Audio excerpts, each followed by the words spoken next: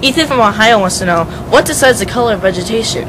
Like, for example, corn is yellow and watermelon is red inside. I want to know if anyone else knows. Genetic material. I have to say it has something to do with the chemicals within the vegetation.